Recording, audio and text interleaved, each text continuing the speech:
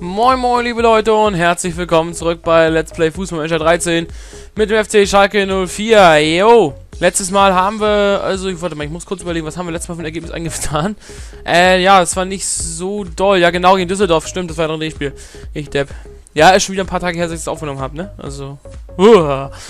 Gut, gegen Düsseldorf 1-1, womit man ja leben konnte, habe ich ja schon erzählt was den Spielverlauf angeht, konnte man damit leben. Was die Punkte im Kampf um die Champions League Plätze angeht, konnten wir damit nicht wirklich leben. Wir sind jetzt mittlerweile fünf Punkte hinter Leverkusen und Frankfurt rückt uns mal wieder auf den, mächtig auf den Nacken.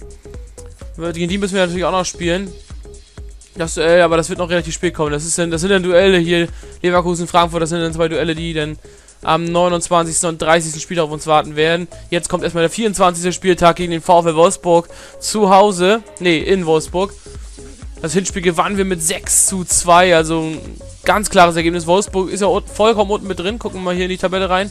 Hier oben, jawohl, Wolfsburg ist Tabellenletzter sogar. Werder Bremen auch nur noch Vorletzter. Ha, das ist echt ein komischer Abschiedskampf da mit den zwei Nordtür Nordleuchttürmen im Abschiedskampf, im Abschiedsstrudel ganz unten drin. Wolfsburg minus 20 Tordifferenz sogar. Ja, und ansonsten, was ich mir sonst noch für Gedanken gemacht habe, und zwar für einen Torhüter der nächsten Saison. Denn ein Patrick Akowski wird, denke ich, nächste Saison noch nicht so weit sein, da er eben in dieser Saison bei Duisburg nur auf der Bank sitzt. Deswegen werden wir in der nächsten Saison nochmal verleihen, wahrscheinlich zu einem, ja, noch besseren Zweitligisten oder, oder etwas schlechteren Erstligisten. Mal schauen, wo er auf jeden Fall Stammspieler sein wird. Das steht, also, da werde ich schon selbst für sorgen, dann werde ich gucken nach. Und wenn nicht, kaufe ich den dann halt den anderen Torhüter weg. Nein. das war ein Witz. Aber nein, Karowski wird noch nächste Saison leider noch nicht so weit sein.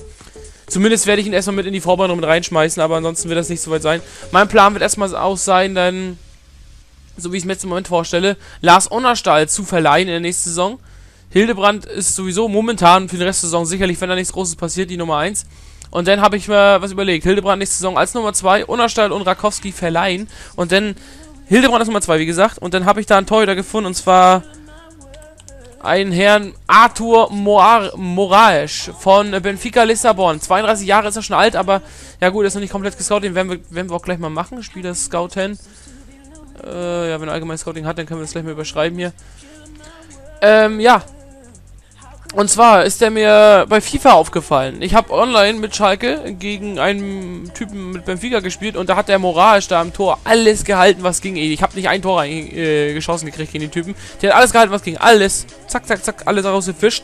Habe ich mal geguckt, wer das ist. Arthur Moralisch heißt der. Haben wir gesehen. Hat bei FIFA eine Stärke von 81. Habe ich mir angeguckt, ein Marktwert insgesamt von 6 Millionen. Also in Wirklichkeit, hier auf FIFA ist es ein bisschen, äh, auf FIFA sag ich schon, auf FM ist, bei FM ist es schon ein bisschen gedämpft. Wir werden ihn scouten. Er ist zwar schon 32, aber denke ich mal von den Fähigkeiten her noch ein bisschen besser als Hildebrand. Und den können wir auf jeden Fall für die nächste Saison auf jeden Fall einplanen. Als solide Nummer 1 hinten drin, erfahrene Nummer 1. Hat in der Europa League sieben Spiele diese Saison gemacht. Also was die internationalen Spiele angeht, können wir hier leider nicht verfolgen.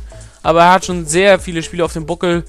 In, vor allem äh, in Portugal mit Lissabon und Sporting Braga. Erfahrung gesammelt, auch in der italienischen Liga mit AS Rom. Zwar nicht ganz große Erfahrung, aber schon einige. Jedenfalls ist das kein so schlechter. Also wir werden erstmal scouten, dann werden wir sehen, was da kommt. Wenn nicht, suchen wir uns noch. Also ich werde auf jeden Fall noch einen guten Torhüter suchen für die nächste Saison. Auch Lars Unterstahl, wie gesagt, soll verliehen werden dann. Und er soll sich dann in der überübernächsten Saison oder so Unterstahl und Rakowski um die Nummer 1 streiten. So plane ich das.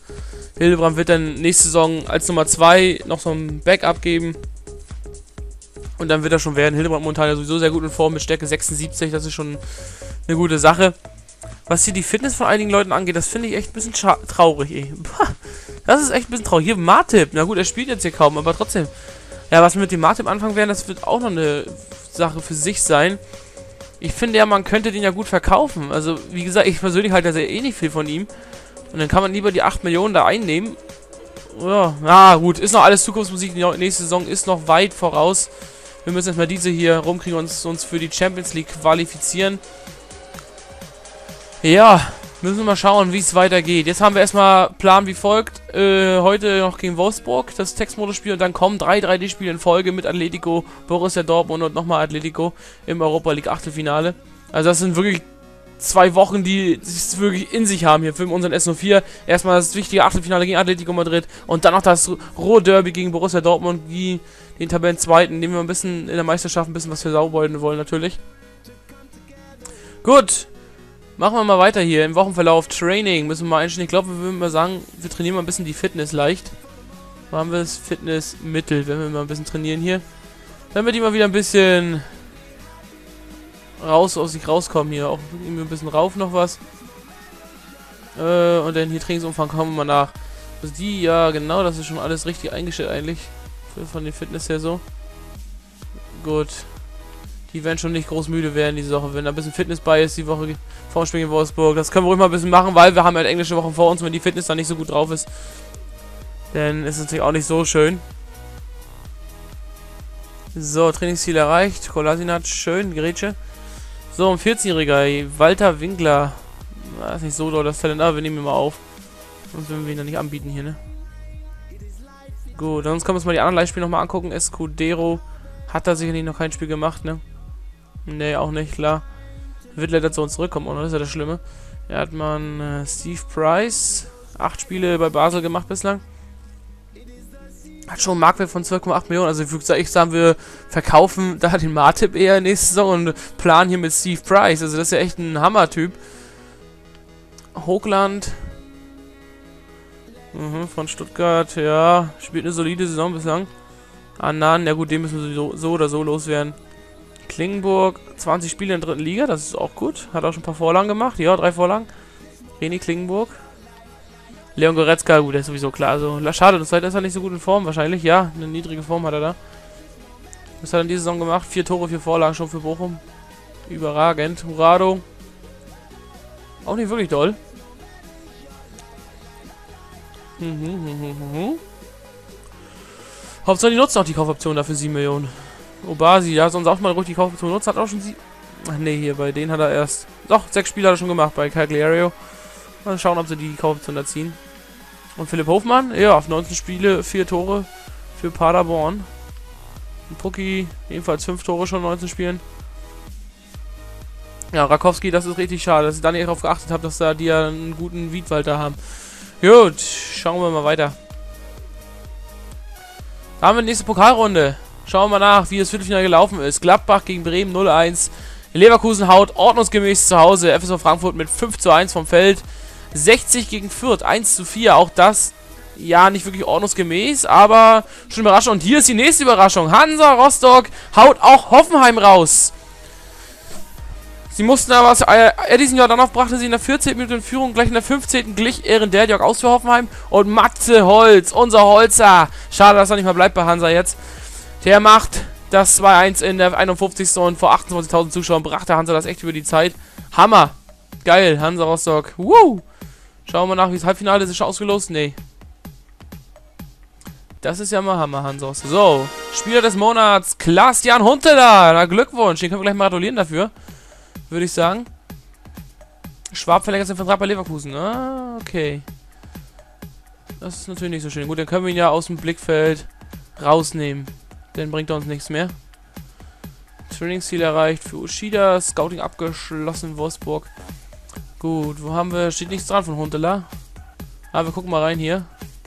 Da Huntela. Glückwunsch in der Wahl zum Spiel des Monats, genau. Passt doch mal. Kyriakos Papadopoulos. Hm, hm, hm. Körperlich muss noch ein bisschen stärker werden. Zuckt mit den Schultern. Ach, Mensch. Büttner, so, hat gut trainiert. Ich glaube, nächstes Mal gucke ich wirklich nach, ob der was Robustheit und sowas braucht. Büttner gut trainiert. So, Julian Draxler. Hm, ist gut in Form eigentlich auch. Jones, das haben wir hier halt gut trainiert.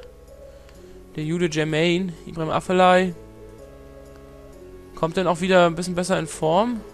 Ja, doch, er kommt wieder ein bisschen besser in Form. Seine Moral ist bloß nicht so gut. Hm. Oder sagen wir ihm, dass er mal zwei Wochen Heimat fahren soll, dass es vielleicht besser ist für ihn. Na komm. Lehnt das ab. Schauen Sie, das geht gegenüber den anderen Spielen einfach nicht. Jawohl, na, dann möchte er sich so bringen. Das ist auch gut. Wir haben ihm das Angebot gemacht. Marika haben wir nicht reden. Hövedes. Seine Mannschaftsführung ist klasse. Freut sich darüber. Wunderbar. Roman Neustädter haben wir nicht. Hildebrand. Super letztes Spiel. Hat er gut gehalten. Das stimmt schon. Timo Hildebrand. So, dann geht es gleich los gegen die Wölfe. In der Volkswagen Arena. Natürlich. Das ist ein bisschen schade, dass die Schrift so weiß ist. Das Echt, echt besser passen.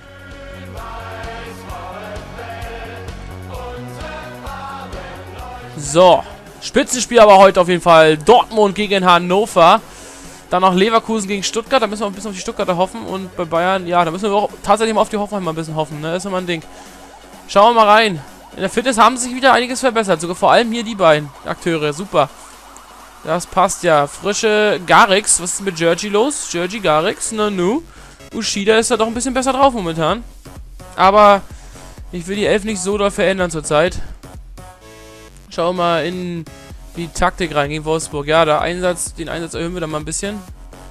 Auf 65%. Und dann speichern wir uns das auch wieder ab. Ja. So dass wir nicht immer wieder erhöhen müssen, weil der war mir letztes Jahr ein bisschen niedrig der Einsatz. So Wolski in den Kader, aber allgemein irgendwelche, irgendwelche Kaderverschiebungen. Clemens, nee. Die Affelei bleibt auch erstmal wieder drin. Der kommt ja wieder langsam. Ja, Ushida, ja, der macht langsam Garix hier ein bisschen Konkurrenz. Ist auch gut so. Marika oder Wolfswinkel ist die Frage. Ich lasse wieder mal Ricky ran. Denn er hat letzte Woche das Tor mit eingeleitet gegen Düsseldorf. Scouting abgeschlossen für Morage, jawohl. Stärke 78. Also der ist schon nicht schlecht, der Typ. Ich würde sagen, den würden wir uns mal äh, ins Blickfeld nehmen. Und dann, was können wir da noch mitmachen? Leihangebot, Berater, Auftrag Berater, irgendwas war doch da immer noch? Nee. Okay, der bleibt auf jeden Fall mal im Blickfeld. So, Preußen, Münster hat Interesse, auch schön. Aber wir werden jetzt erstmal das Spiel gegen die Wölfe machen. So, was macht er hier? Neue Aufgabe zuweisen. Allgemeines Scouting. Zack, macht er das wieder. Und dann können wir mal angucken, was noch so Interessantes hier nachher gibt. Können wir jetzt danach... Ah, ne, hier nachher ist ja auch nicht mehr viel Zeit. Na doch, wir müssen ran bis Atletico noch. Also das hier etwas längere Folge heute. Ab geht's. Also gegen die Wölfe im Textmodus und ab. So, was sagen wir unserem Team? Ja. Äh, heute einfach mal, gebt euer Bestes. Nichts groß aufs Spiel setzen, würde ich mal sagen. Ganz locker nehmen, die Sache.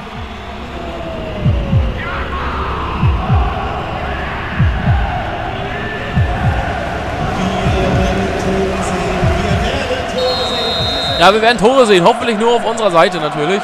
Also in der Seite der Wolfsburger natürlich äh, im Tor von Wolfsburg. so, achte Minute, erste Chance für Schalke.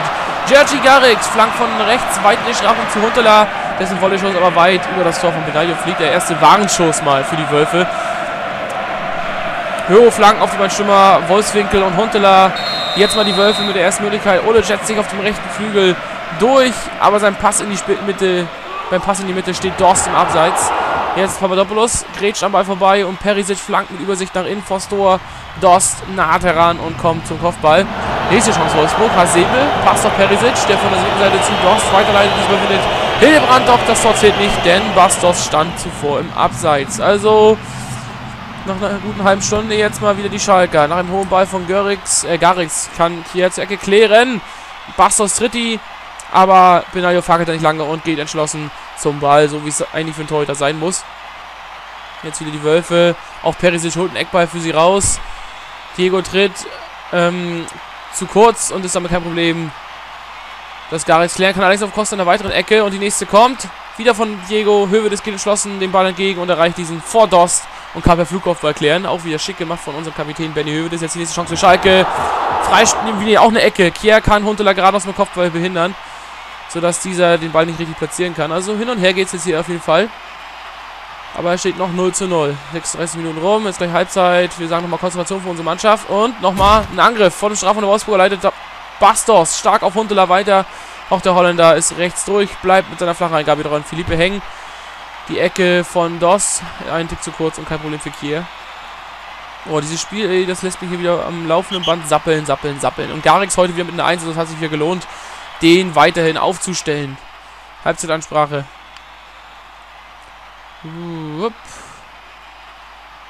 Ja, lasst uns so weitermachen. Dann fügt sich alles zusammen. Spielergespräche für Garex klar. Eine Note, Note 1. Da gibt es auch ein klares Lob von uns. Auch Hövedes sieht ein, kriegt ein Lob. Huntela und Wolfswinkel motivieren wir mal. Genauso wie Julian Draxler. Und Garrix noch eine Massage, dass er wieder fit ist. Genauso wie Büttner. Auf links unseren Dauerracker da. Und Jefferson Farfan. Ab geht's in Hälfte 2. Alle warm laufen lassen und ja, er schüttelt jetzt plötzlich aus Einmann öfter mal im FM, ne? Huntela sieht jetzt gelb wegen groben Foulspiels. Er springt hier in den Rücken und wird dafür verwahren. Naja, gut, ob man dafür gleich eine gelbe Karte geben muss. So, aber jetzt gibt es die Chance vor uns. Schlechte Zweikampfführung von Hasebe, der im eigenen 16 den Ball an Verfang verliert. Der FC Schalke 4 kann damit aber nichts anstellen. Benaglio muss das harmlose Schlüsschen nur aufnehmen. Also, ja, jetzt vielleicht immer noch nächste Chance. Schneller Angriff von Schalke. Huntela zunächst vorbei an Philippe. Versucht in der Mitte launen von Wolfswinkel hier setzen. Misslingt aber völlig. Naja, jetzt nochmal bei Schalke. Und da fällt jetzt das 1-0. Jetzt hat sie jetzt angedeutet nach der, nach der Halbzeit. Ricky van Wolfswinkel, sein dritter Bundesliga-Treffer. Da knallt es in Wolfsburg. Der VfL ist in dieser Szene viel zu unentschlossen. Verfahren wird von Kier nicht richtig angegriffen und kommt zur Flanke. Philippe steht auch viel zu weit weg von, von Wolfswinkel und lässt. Und der lässt sich die Chance nicht, nicht entgehen. Und damit steht 1-0 für uns. Und nach der Halbzeit ist es auch verdient für uns. So, jetzt können wir schon mal erste äh, Schonmaßnahmen einleiten. Wie zum Beispiel Papadopoulos, für ihn wird ein Martip reinkommen. Hoffentlich bereue ich das jetzt nicht mit Martip. Jetzt Ecke von Schalke. Philippe kann von Wolfswing gerade aus dem Kopfball hindern. Also auch wieder so eine Szene hätte gefährlich werden können. So, Martip rein für Papadopoulos. Eigentlich nur eine Schonungsmaßnahme, aber äh, ich hoffe, dass äh, ich das nicht bereuen werde. Nächste Chance. Kier schießt bei einem Abwehrversuch den eigenen Mann an, der dann unfreiwillig für Van Wolfswinkel vorlegt. Fagner schaltet blitzschnell und klärt noch zur Ecke. Die Ecke kommt herein und nicht das 2-0. Van Wolfswinkel und Philippe steigen Kopf hoch, aber Philippe kann sie durchsetzen. Und Benaglio muss nicht eingreifen. Spannende Partie anscheinend. Helm ist rein für Ivica Olic. Helm ist wieder fit nach Kreuzbandriss. Kommt für die rechte Außenbahn. Dort jetzt unsere Entscheidung. Schäfer mit einer Grenzreaktion gegen Rick von Wolfswinkel direkt vor der Nase. Sie natürlich vor euch dann die gelbe Karte. Und da kriegt er sie auch. Jawohl. Schäfer sieht nach einer Grenzreaktion gegen von Wolfswinkel gelb. Hansa-Fan hatte diese Karte in äußerst unsportlicher Weise, äußerst unsportlicher Weise gefordert. Hoch kommt aber auf den Elferpunkt, aber Hildebrand klebt da nicht wie mein Anruf Linie, sondern geht entschlossen dazwischen. Sehr schön. So, jetzt können wir gleich mal die letzten Wechsel auch durchführen. Und zwar wird Klaas in Huntela rausgehen. Für ihn wird Roman Neustädter reinkommen. Damit stellen wir um auf unser 4-2-3-1-System. Haben wir uns natürlich aber im Sturm. Auch ein Huntela muss geschont werden hier heute. Und ja, wir versuchen das hier über die Zeit zu bringen, natürlich das 1-0. Glanzparade jetzt von Diego Benaglio. Möglichkeit für Schalke. Bastos legt am Strafenrand für Draxler auf und er zieht sofort ab. Doch Benaglio ist schnell unten im linken Eck und hält die Kugel im Nachfassen sicher. Das Pressing nehmen wir ein bisschen runter. Und der Hasani kommt für Dost und den Einsatz erhöhen wir noch mal auf ja 71%. Jetzt in der Absteig jetzt in Wolfsburg. Hildebrand schlägt weit ab. Draxler schüttelt Laufduell Hasebe ab. Aber eine kleine technische Unsauberkeit bei der Ballkontrolle bringt Hasebe wieder ran und er grätscht ihm den Ball kurz in letzter Sekunde vom ja, ab quasi. So, wir werden jetzt nochmal wechseln. Damit warten wir als taktischer Wechsel. Jetzt nochmal Schalke und nicht das 2 Mensch, langsam wird Zeit. Verfahren wird links Schalke geschickt, will am Philippe vorbeigehen und bleibt zunächst hängen. Der wendige Peruaner setzt erfolgreich nach, holt sich den Ball wieder, spielt flach in die Mitte, Wolfswinkel lauert, Schäfer klärt zur Ecke. Die Ecke kommt vom Verfahren, präziser auf Wolfswinkel, der sich gegen Philippe durchsetzt und gut köpft. Aber Benayo packt da sicher zu und jetzt gibt es den letzten Wechsel bei uns auch. Es wird ja, Ibrahim Afelai wird reinkommen für Michel Bastos. Kurzeinsatz nochmal für Ibi. Schauen auf die Tabelle. Ja, es bringt uns nicht wirklich weiter ran, weil Leverkusen gewinnt und die Bayern, aber ja gut, wir kommen auf einen Punkt ran auf jeden Fall. Die Bayern scheinen zu verlieren. So, nochmal Konzentration für alle hier in der Nachspielzeit. Wird das der Sieg mal wieder? Jawohl! 1 zu 0 Sieg gegen VW Wolfsburg. Wir sehen uns gleich in der Nachbetrachtung. Jawohl, 1 zu 0 Sieg in Wolfsburg in der Volkswagen Arena. Bester Mann heute, Georgi Garix. War doch richtig spielen zu lassen. Ich hätte fast auf Ushida gesetzt äh, zu Beginn des Spiels, aber am Ende doch Garix mit einer sehr guten Leistung. Zwei Torvorlagen hat er auch schon gemacht, ich glaube nicht bei uns. Ansonsten war es eine recht gute Partie von uns. Erste Halbzeit war sehr ausgeglichen, zweite Halbzeit haben wir klar dominierend, hätten eigentlich noch das 2-0 oder 3-0 nachlegen müssen. Wir haben uns aber knapp durchgesetzt. Ein gutes Pferd springt nur so hoch, wie es muss, liebe Leute. Und das haben wir heute auch getan. Draxler souverän, Van Wolfswinkel, der Torschütze. Heute sein drittes Tor im siebten Spiel für unseren FC Schalke 04. Auch stark. So, Statistiken, schauen wir rein. Ja, 4000 Schalker waren wieder mitgereist. Ballbesitz 61%, auch das war klar für uns. Schüsse 3-1, Schüsse aufs Tor 2-0. Chancen 8-1, also es war ein verdienter Sieg, hätte auch höher ausfallen können, hätte Wolfsburg sich nicht beschweren müssen. Aber die erste Halbzeit war einfach schwach. Zweite Halbzeit haben wir es dann souverän verteidigt. Und Dortmund holt sich im Spitzenspiel die Tabellenführung zurück gegen Hannover. Mit 1-0 gewinnen die nämlich. Und damit sind sie punktgleich, aber Tabellenführer. Und die Bayern, ja, die kommen doch ran. Die gewinnen nämlich 3-2 in Hoffenheim. Auch Leverkusen gewinnt 2-1 gegen Stuttgart. Das ist alles nicht so gut. Aber Frankfurt hat nur einen Punkt geholt. Schauen wir mal nach. Eintracht Frankfurt 0-0 gegen Gladbach nur. Damit sind wir da immer 5 Punkte vor. Aber auch 5 Punkte. Äh, es ist ein bisschen kritisch gerade. Wir stehen da auf Platz 5 wie angewurzelt. Einfach weil wir auch nicht konstant genug gewinnen. Hier haben wir es ja. Immer nur die letzten zwei Heimspiele haben wir nicht gewonnen. Es ist ein bisschen, ja, Maukost zurzeit. Aber wir haben erstmal wieder wichtige Punkte eingefahren. Müssen noch gegen Leverkusen ran auf jeden Fall. Damit können wir wieder rankommen. Aber wir müssen auch hoffen, dass Leverkusen wieder strauchelt. Logischerweise. Ansonsten, ja gut, absteigen können wir erstmal nicht mehr. Den Klassenhalt haben wir. Wolfsburg bleibt unten hängen. Fünfte Niederlage in Folge wohl für sie. 14 Punkte gerade mal. Werder Bremen hat sich einen Befreiungsschlag geleistet. Und zwar 2-1 gegen Augsburg gewonnen. Aber hier ist ja wirklich Augsburg vollkommen an der Grenze. Gladbach, uh, dass Frankfurt da noch einen Punkt holt, das ist gut. Dass Gladbach da den Punkt abgeknöpft hat. Für Gladbach war es natürlich wichtig, da zu gewinnen. Nürnberg wartet weiterhin dort drin mal wieder auf den Sieg. Okay, schauen wir auf die Stimmen des Spieltags. Äh, Strumpf des Tages von Jürgen Klopp, wie auch immer. Was unsere Fans heute abgeliefert haben, macht Mut. Und auch meine Mannschaft hat sich ein Kompliment verdient.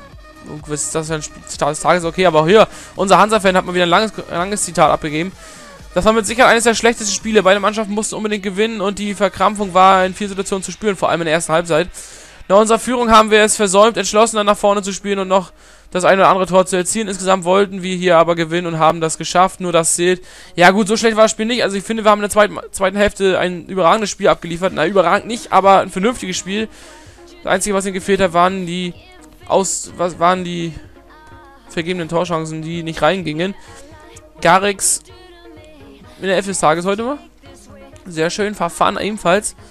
Die 80 knackt aber noch nicht. Ansonsten hier Lukas Piazzon. Hat er schon ein paar Tore gemacht oder was? Vier Spiele, zwei Tore für Freiburg. So, Teamleistung, die war heute nämlich ganz oben. Also von daher kann man nicht sagen, dass wir ein schlechtes Spiel hatten. wir hatten noch die beste Teamleistung von allen Mannschaften. Was ist da auch schick. Was, wie sieht es in der Saison zurzeit aus? Platz 4, ja. Wir sind besser als der Tabelle, was aussagt. So, Huntela und Kiesling weiterhin gleich auf. Wenn wir mal weiterspielen, dass wir hier mal bald das Europa League Achtelfinale da haben. Blaschikowski entscheidet das Top-Duell gegen Hannover. So, das könnte auch mal die sportliche Brisanz wieder steigen, aber tut es nicht. So, das zweite verliert 2-1 gegen Lotte. Das ist natürlich auch ärgerlich. Gucken auf den Spielbericht. Wie haben sie so sich so verkauft? Da Neubart hat das Tor gemacht. Maxi Meier mit einer 4. Kolasinac mit einer 2,5 wieder. Ah, der, der kommt langsam wieder ran an die erste Mannschaft. Das ist gut. Mannschaft der Woche. Haben wir gesehen. Kai ist der Vertragssituation unzufrieden. Mir egal, kann gehen. Der Typ, was haben wir die Vorstellung aufgestellt? Ah ja, da fehlt uns ja wieder zwei wichtige Stammkräfte. Für von Wolfswinkel wird Marika schon mal reinkommen. Das setzt sich jetzt schon mal fest. Und Affelei lassen wir auch mal wieder ran.